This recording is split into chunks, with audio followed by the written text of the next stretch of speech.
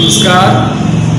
मेरा नाम गणेश कुमार ठाकुर है। मैं ग्राम पंचायत गोड़ावाली दक्षिणी का मुखिया हूँ। और मेरे तरफ़ से आने वाले वर्ष 2021 आप सभी को मंगलमय हो। आप जहाँ भी रहें, सुरक्षित रहें और अपने समाज में जो भी अच्छा कार्य कर सकें, वो निरंतर करते रहें।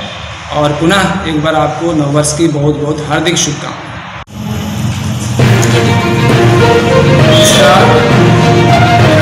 नमस्कार मेरा नाम गणेश कुमार ठाकुर